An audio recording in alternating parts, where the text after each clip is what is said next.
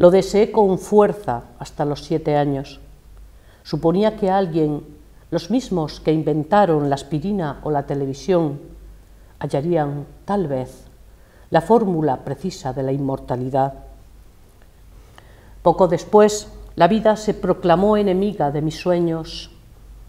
Me expulsaron de clase por defender a gritos a un gato callejero y suspendí segundo de primaria. Aquel gato murió con los ojos abiertos. Unos hijos de puta lo mataron.